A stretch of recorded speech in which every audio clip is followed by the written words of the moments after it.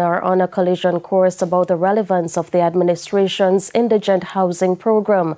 This was highlighted at a recent handing over in Manchester.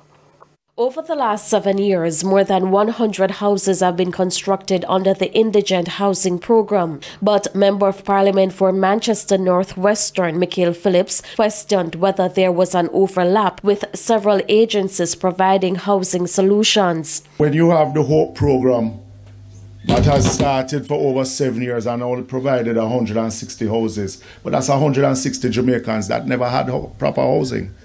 But how it is that we can get a program like that, which is a good program, to benefit more. In response, local government minister Desmond McKenzie contended that the four programs under the government's housing policy are well coordinated.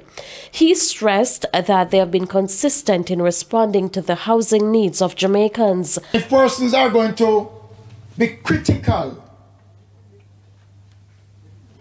of our stewardship of housing solutions in this country. You tell us what you will be able to do better than what we are doing. He added that there haven't been any complaints about the houses constructed under the program. We still continue to build more.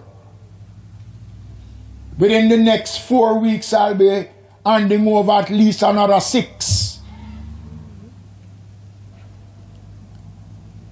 And there are more than 15 under construction taking place right across the country.